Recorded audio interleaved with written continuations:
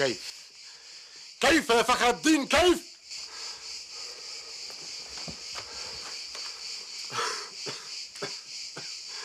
قاتلك الله. قاتلك الله. هذا هو دفاعك عن المدينة؟ هكذا. تسلم المدينة دون قتال؟ كنت أقول إن فخر الدين هو أثبتنا. وإذ بك تهرع إلي كالصبي المذعور.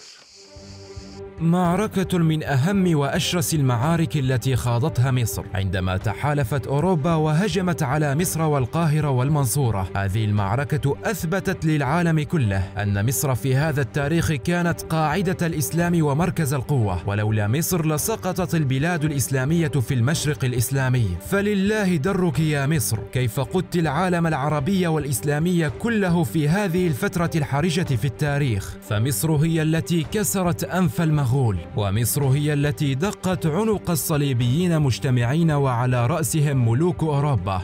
قبل أن ننطلق في هذه المعركة المهمة جدا في التاريخ أدعوك للاشتراك في قناة أسطر والضغط على زر اللايك تشجيعا لنا وحتى يصلك كل جديد.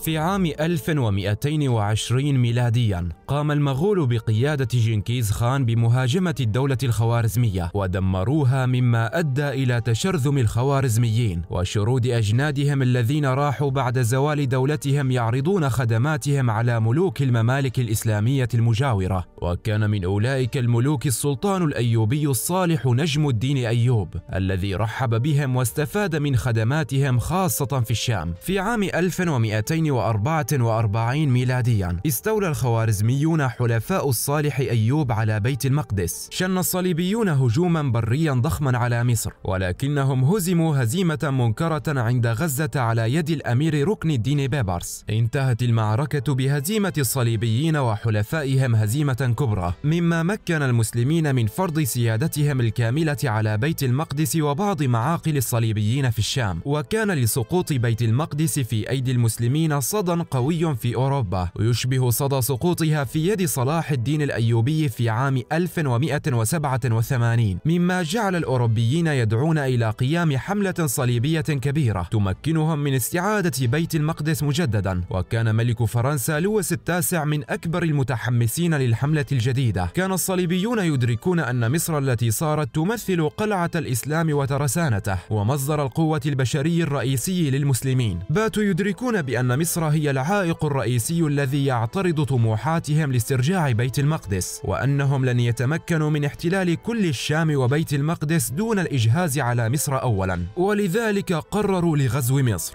لقد أقر البابا نذري القديم وأمرني بحرب لا هودة فيها على العرب. ما هو هدف الحملة الأول؟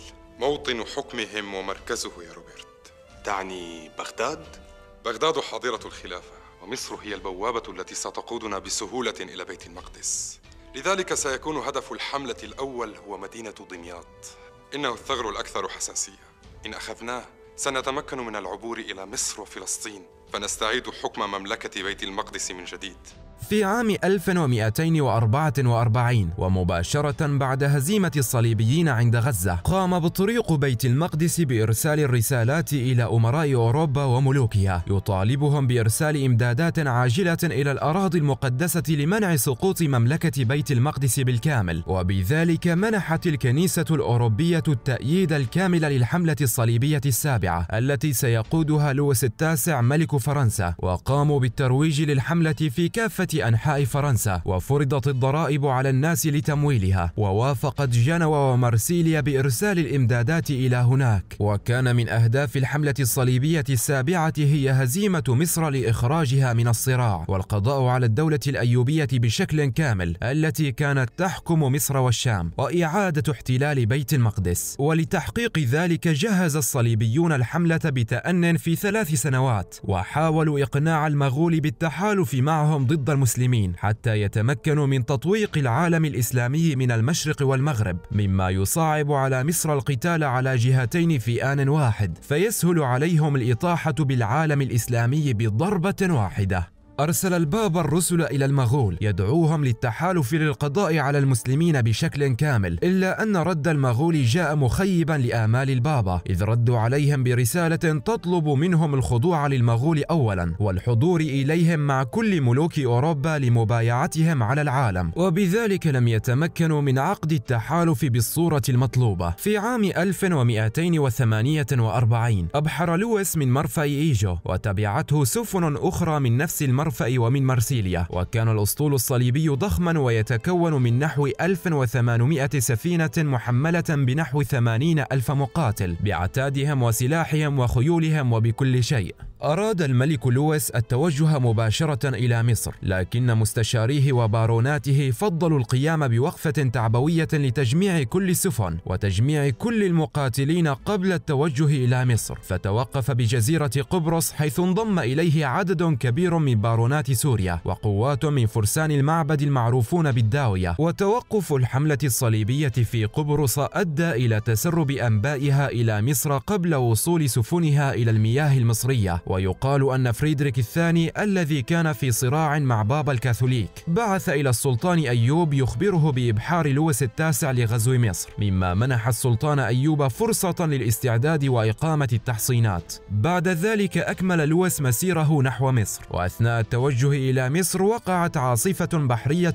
قوية تسببت رياحها في جنوح نحو 700 سفينة جنحت إلى سواحل الشام بدلا من سواحل مصر. أما في مصر فقد كانت أنباء عزم الفرنج على مهاجمة مصر قد وردت فأنهى السلطان الصالح أيوب حصاره لحمص وعاد من الشام إلى مصر بسرعة بسبب مرضه الشديد ونزل عند قرية أشموم على البر الشرقي من الفرع الرئيسي للنيل وأصدر أوامره بالاستعداد وشحن دمياط بالأسلحة والأقوات والأجناد وأمر نائبه بالقاهرة الأمير حسام الدين بن أبي علي بتجهيز الأسطول وأرسل الأمير فخر الدين يوسف على رأس جيش كبير ليعسكر في البر الغربي لديمياط حتى يواجه الفرنج إذا قدموا طلب البارونات والمستشارون من الملك لويس التمهل حتى وصول السفن الجانحة بالشام ولكنه رفض بحجة أن ذلك سيعطي مهلة للمسلمين كما أنه لا يوجد مرفأ في الطريق يمكن أن ترسو فيه السفن مما يعرضها للجنوح إلى مناطق بعيدة بفعل الرياح القوية. ودخلت سفن الفرنج المياه المصرية ووصلت شاطئ دمياط ورست بإيذاء المسلمين. وراعى المقاتلين الصليبيين وهم ينظرون من فوق أسطح سفنهم. راعهم كثرة أجناد المسلمين على الشاطئ وبريق أسلحتهم وصهيل خيولهم. أرسل لويس كتابا إلى السلطان الصالح أيوب يهدده ويتوعده ويطلب منه الاستسلام. وكان السلطان الصالح مريضا مرض الموت. وكانت الدولة الأيوبية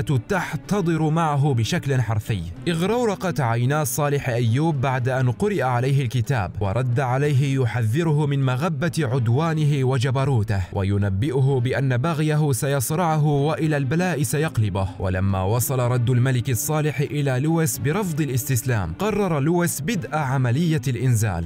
وبدأ بإنزال القوات الصليبية على بر دمياط. كانت القوات تضم نحو خمسين ألف مقاتل وفارسا وضربت للويس خيمة حمراء كبيرة على الشط. ونشب قتال عنيف بين المسلمين والصليبيين انتهى بتراجع المسلمين. وفي المساء انسحب الأمير فخر الدين يوسف إلى معسكر السلطان في أشموم بعد أن ظن أن السلطان قد فارق الحياة لأنه لم يرد على رسائله التي بعث بها إليه بالحمام الزاجل. وترك فخر الدين دمياط خلفه بكل ما فيها من سلاح ومؤنة وأقوات. ففزع السكان وفروا هم أيضا. فروا منها وخلفهم العربان الذين كانوا قد وضعوا في المدينة للمشاركة في حمايتها. فعبر الجنود الصليبيون إلى المدينة المهجورة سيرا على الجسر الذي غفلت الحامية الأيوبية عن تدميره. واحتلوا دمياط بدون مقاومة حتى إنهم ظنوا بادئ الأمر أنها مكيدة من المسلمين. واستولى الصليبيون على المدينة بكل ما فيها من سلاح وعتاد ومؤنة وحصنوا أسوارها واغتبط الفرنج بالاستيلاء على دمياط بتلك السهولة. لكن لويس فضل التمهل في التقدم نحو الدلتا إلى أن تصل السفن الجانحة في الشام وإلى انتهاء موسم فيضان النيل حتى لا يقع في غلطة الحملة الصليبية الخامسة التي أغرقها فيضان النيل.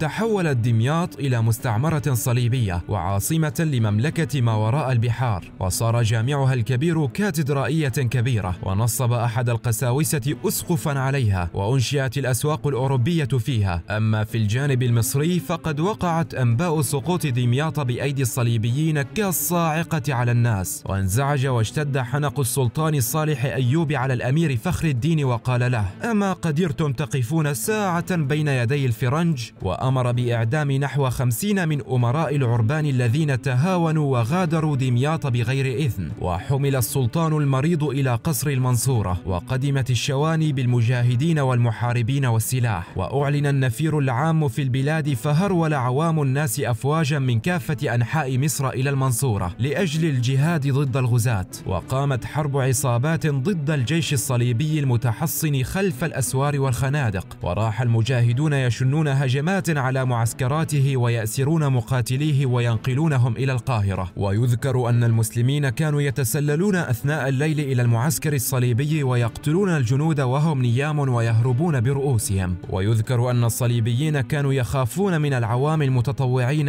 أكثر من الجنود. وفي غضون ذلك وصل إلى دمياط من فرنسا الشقيق الثالث للملك لويس. ومعه إمدادات وقوات إضافية. وبوصولها تشجع الصليبيون وقرروا التحرك من دمياط. كان على لويس الاختيار بين السير إلى الإسكندرية أو السير إلى القاهرة. وقيل له إذا أردت قتل الأفعى فاضربها على رأسها يعني اضرب عاصمة الدولة الإسلامية. وفعلا اختار لويس ضرب رأس الأفعى كما وصف فأمر بالسير إلى القاهرة. خرج الصليبيون من دمياط وساروا على البر بينما شوانيهم وسفنهم في بحر النيل توازيهم وقاتلوا المسلمين هنا وهناك حتى وصلوا إلى ضفة بحر أشموم الذي يعرف اليوم بالبحر الصغير. فأصبحت مياه بحر أشموم هي الحاجز الفاصل بينهم وبين معسكر المسلمين وحصن الصليبيون مواقعهم بالأسوار وحفروا الخنادق ونصبوا المجانيق ليرموا بها عسكر المسلمين ووقفت شوانيهم بإزائهم في بحر النيل ووقفت شواني المسلمين بإزاء المنصورة ووقع قتال شديد بين الصليبيين والمسلمين في البر ومياه النيل وحاول الصليبيون إقامة جسر ليعبروا عليه إلى الجانب الآخر. ولكن المسلمين ظلوا يمطرونهم بالقذائف كما شرعوا في إكمال الجسر حتى تخلوا عن الفكرة. وراحت المساجد تحض الناس على الجهاد.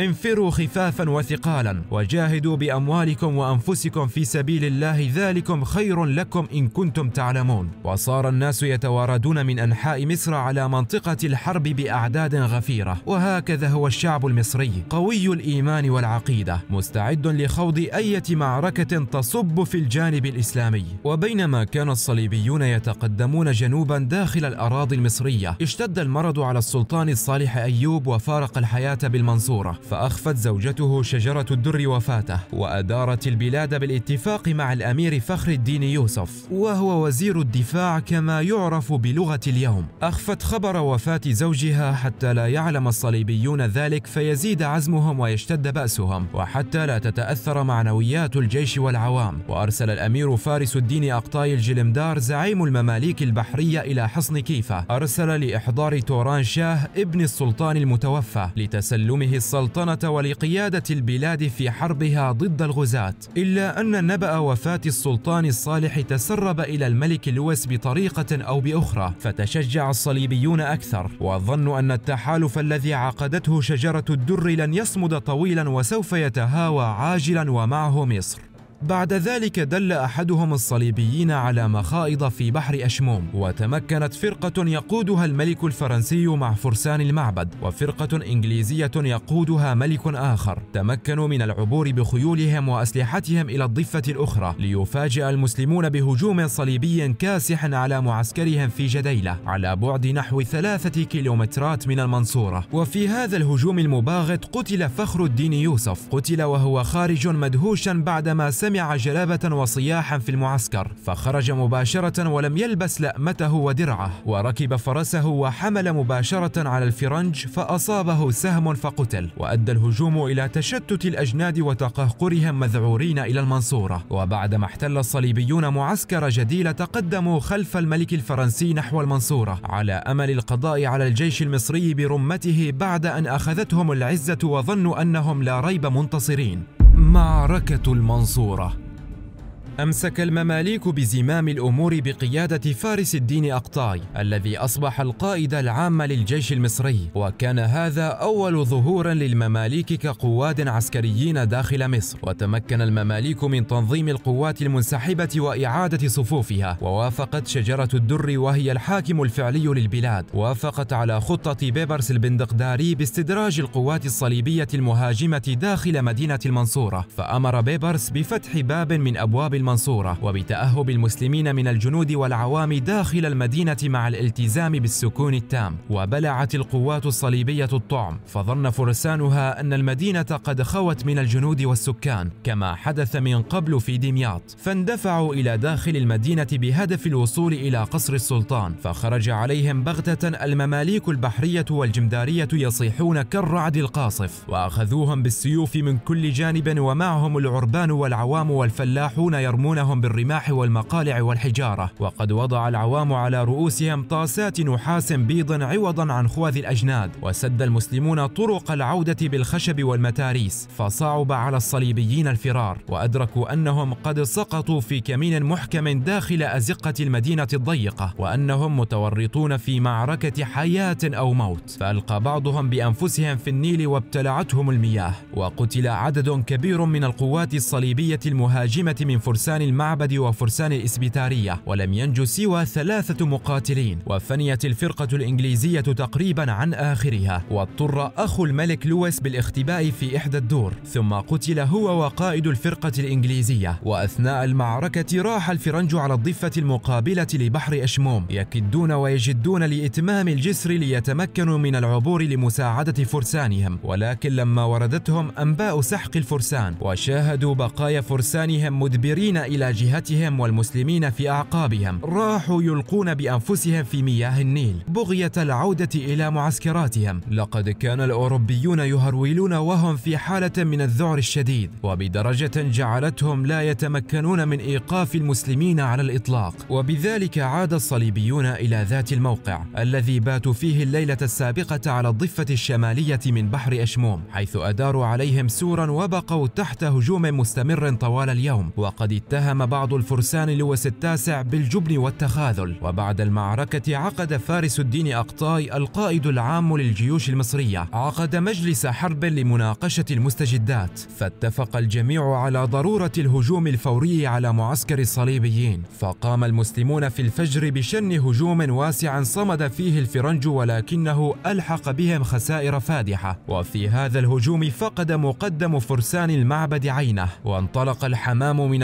المنصورة بنبأ الانتصار على الصليبيين بالقاهرة فضربت البشائر بقلعة الجبل وفرح الناس وأقيمت الزينات. تحصن الصليبيون داخل معسكرهم ثمانية أسابيع يأملون بانهيار القيادة في مصر حتى يتمكنوا من معاودة محاولة التقدم إلى القاهرة. لكن الحلم لم يتحقق وبدلا من انهيار القيادة وصل السلطان الأيوبي الجديد توران شاه وصل إلى المنصورة وبوصول السلطان الجديد تنفست شجرة الدر والأمراء السعداء وأعلن رسميا في البلاد نبأ وفاة السلطان الصالح نجم الدين أيوب. وقام المسلمون بنقل المراكب مفككة على ظهور الإبل وبعد تركيبها على الشط أنزلوها في مياه النيل خلف قوات لويس التاسع. وبذلك منعوا وصول الإمدادات والمؤن من البحر المتوسط ودمياط إلى القوات الصليبية التي غدت محاصرة في موقف لا تحسد عليه. فلا هي قادرة على الاقتحام جنوبا والتقدم نحو القاهرة ولا هي ممونة من قاعدتها في الشمال. واستخدم المسلمون النار الإغريقية في تدمير مراكب الإمدادات الصليبية المتجهة من دمياط المتجهة إلى قوات لويس المتمركزة جنوب المنصورة. كما تمكنوا من الاستيلاء على ثمانين سفينة صليبية وتمكنوا من تدمير قافلة تتكون من 32 سفينة. ولم يمض وقت طويل حتى كانت قوات لويس قد أنهكت من الحصار والهجمات المتواصلة في النهار والليل وبدأ الجند الصليبيون يعانون الجوع والمرض ويفرون إلى جيش المسلمين بعدما أصابهم اليأس والإحباط. بل والشك في الفكرة الدينية التي حملتهم على الانضمام إلى حملة لويس التاسع ضد بلاد المسلمين. وعلى الرغم من هزيمة لويس التاسع وانتهاء حلمه ببلوغ القاهرة إلا أنه عرض على المسلمين أن يسلمهم دمياط مقابل تسليمه بيت المقدس. وهو عرض كان قد اقترحه السلطان الأيوبي الصالح أيوب على لويس بعد احتلاله دمياط دمياط ورفض المسلمون عرض لويس لإدراكهم أن وضعه العسكري لم يعد يؤهله لوضع الشروط ولم يعد يؤهله لعقد الصفقات فالقوة والشوكة الآن للمصريين وللمسلمين. وبذلك أصبح أمام لويس التاسع خيار واحد ألا وهو الفرار إلى دمياط وإنقاذ نفسه وجنده. وفي عام 1250 وفي جنح الليل بدأت قوات الصليبيين رحلة الهروب إلى دمياط. ومن شدة العجلة والارتباك نسي الصليبيون أن يدمروا جسرا من الصنوبر كانوا قد أقاموه فوق قناة أشموم وعندما أحس المسلمون بحركة الصليبيين عبروا فوق الجسر وراحوا يطاردونهم ويبذلون فيهم السيوف من كل جانب حتى وقع الملك لويس وأمراؤه ونبلاؤه في الأسر وسجنوا في دار ابن لقمان في العام نفسه. وفي تلك الأثناء كان الصليبيون يروجون شائعة في أوروبا. تزعم أن الملك لويس التاسع هزم سلطان مصر في معركة عظمى تبعها سقوط القاهرة بيده وبعدما وصلت أنباء هزيمة لويس التاسع ووقوعه في الأسر ذهل الناس في فرنسا ونشأت حركة هستيرية عرفت باسم حملة الرعاة الصليبية تسببت في قتل قساوسة ورهبان في فرنسا وإلقائهم في نهر السين بحجة عدم مساعدتهم للويس التاسع وتحققت نبوءة الصالح أيوب بأن بغي لويس التاسع سيصرعه وإلى البلاء سيقلبه وقتل في الحملة الصليبية هذه ما بين عشرة آلاف وثلاثين ألفا من الصليبيين. وهزيمة الحملة الصليبية السابعة في مصر أثبتت مرة أخرى. أثبتت مكانة مصر كقلعة وترسانة عسكرية للإسلام في تلك الأيام. وكانت الحملة الصليبية السابعة آخر حملة صليبية منظمة على مصر. ولم يتمكن الصليبيون من تحقيق حلمهم باحتلال بيت المقدس. وفقد ملوك أوروبا اهتمامهم بإطلاق حملة صليبية جديدة.